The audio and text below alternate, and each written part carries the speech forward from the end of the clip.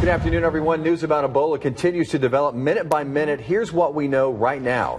Fighting fear with the facts on the deadly virus, we now know doctors at special facilities are treating two Ebola patients while health officials monitor other cases to make sure the disease hasn't spread. Craig Boswell has the very latest from Bethesda, Maryland. Now, that suspected patient aboard the cruise ship first came in contact with Thomas Eric Duncan's specimen 19 days ago. The incubation period for Ebola is 21 days.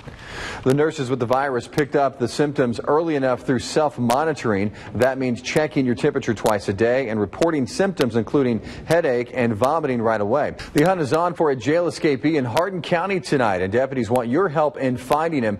Take a look. 30-year-old Robert Rush got away from the jail just after 11 o'clock this morning. Authorities say he is considered dangerous. And take a look at this video. This is from about an hour before he took off from the jail. As you can see, he's being booked in. We're told he was taken in on a felony warrant. Rush took off on a green four-wheeler, we're told, that was uh, has camouflage on the back of it. Investigators say he stole it from a nearby home.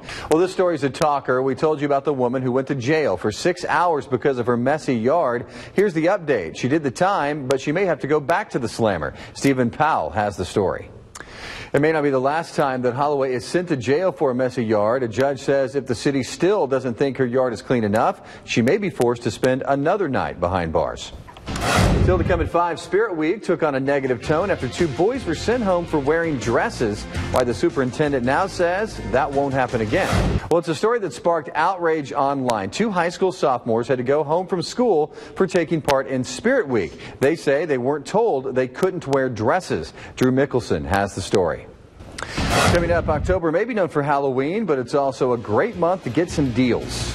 Well, even President Obama couldn't get out of an awkward situation at a New York restaurant.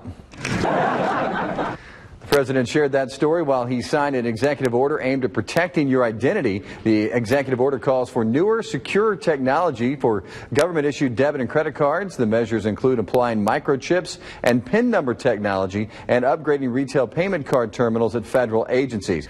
And Consumer Reports says more items will go on sale next month, including baby products, video cameras, and toys. 70. Still nice to have the sun, for sure. Mm -hmm. Grant, thank you. Thanks for watching, everyone. The CBS Evening News is coming up next, and we'll see you back here for Heartland News at 6.